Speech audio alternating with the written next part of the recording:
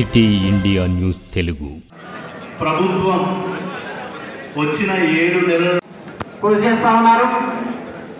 ఈ కార్యక్రమానికి చేసినటువంటి జిహెచ్ఎం అసోసియేషన్ జిల్లా అధ్యక్ష కార్యదర్శులు కార్యక్రమం తర్వాత ఈ కార్యక్రమం కొనసాగుతుంది.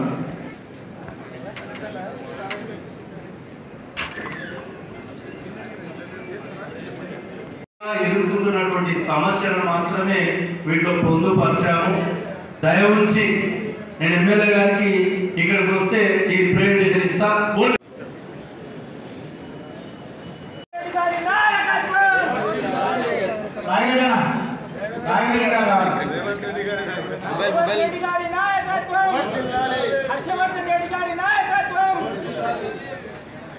పాత తరం అయిపోయింది.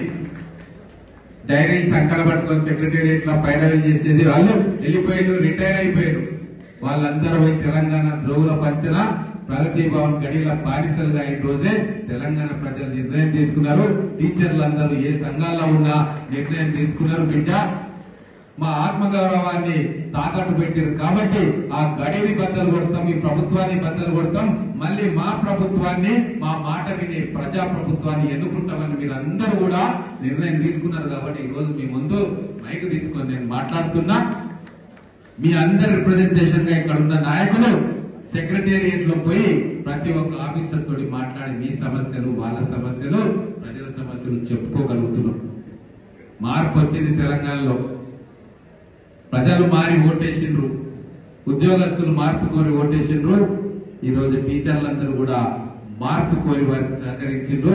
ఆ మార్పుకు అనుగుణంగానే మొన్న జరిగిన బదిలీలు కానీ ప్రమోషన్లు గాని పారదర్శకంగా ఎవరి ఇన్ఫ్లుయెన్స్ లేకుండా ఎవరి పైరవీ లేకుండా ఎవరికి ఏది సీనియారిటీ ప్రకారం వస్తుందో అవసరం ప్రకారం వస్తుందో అవన్నీ కూడా చేసింది మా అధికారాలను వదులుకున్నాం.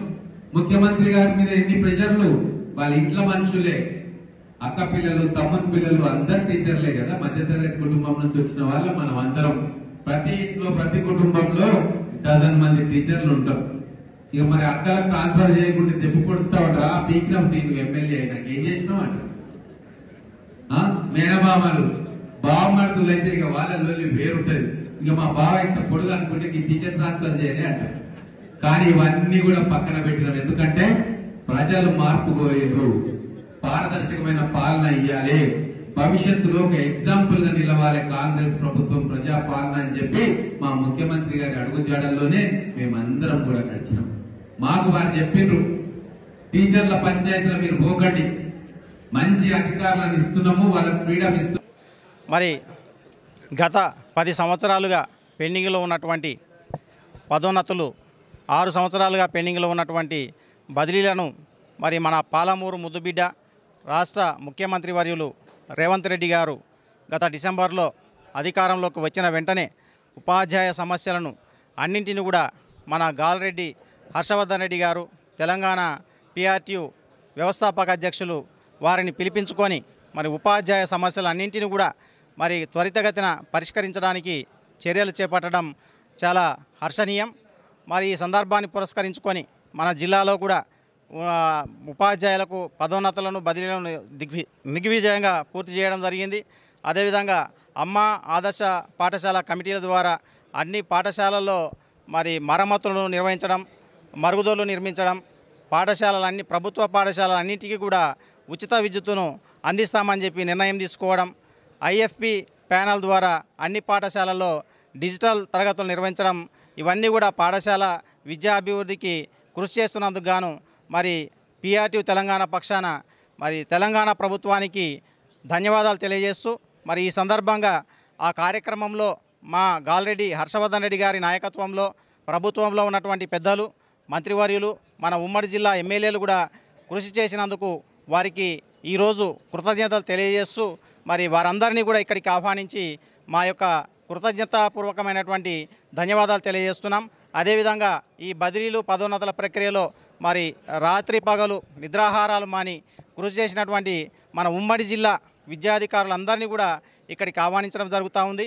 ఆ పదోన్నతులు బదిలీల ప్రక్రియలో పనిచేసినటువంటి అధికారులందరినీ కూడా ఈ సందర్భంగా సన్మానించుకోవడం మన పాఠశాల ఉపాధ్యాయులందరి యొక్క బాధ్యత అని చెప్పి వారికి తెలియజేస్తూ ఈ ఈ సందర్భంగా వారందరినీ కూడా సన్మానిస్తూ ఉన్నాం. పది సంవత్సరాల నుంచి ఏవైతే పెండింగ్లో ఉన్నాయో ఉపాధ్యాయ సమస్యలు అవన్నీ కూడా కేవలం ముప్పై రోజుల్లో పరిష్కరించింది ఈ ప్రభుత్వం. కాబట్టి ఉపాధ్యాయుల అందరి పక్షాన ప్రభుత్వానికి కృతజ్ఞతలు తెలియజేయాలనే ఉద్దేశంతోన ఈ కృతజ్ఞత ప్రభుత్వానికి కృతజ్ఞత సభ మహబూబ్ నగర్లో ఏర్పాటు చేయడమైనది దీనికి ఉమ్మడి మహబూబ్నగర్ నుంచి అన్ని జిల్లాల విద్యాధికారులను ఉపాధ్యాయులను మండల విద్యాధికారులను అందరినీ కూడా ఆహ్వానించి ప్రభుత్వానికి ఎవరైతే కృషి చేసిండ్రో ఉపాధ్యాయ పెద్దలు కావచ్చు ప్రభుత్వ పెద్దలు కావచ్చు వాళ్ళందరినీ సన్మానించుకోవాలనే ఉద్దేశంతోన ఈ కార్యక్రమం మహబూబ్ నగర్లో ఏర్పాటు చేయడం అన్నది. కాబట్టి ఉపాధ్యాయ మిత్రులకు ఎవరు కూడా ఆహ్వానం అందలేదని మమ్మల్ని పిలవలేదని అనుకోకుండా అందరూ కూడా ఈ కార్యక్రమాన్ని ఎవరి ద్వారా సమాచారం వచ్చి ఉంటే వాళ్ళందరూ కూడా ఈ కార్యక్రమం అందరూ హాజరై విజయవంతం చేయగలరని మనవి చేస్తున్నాం.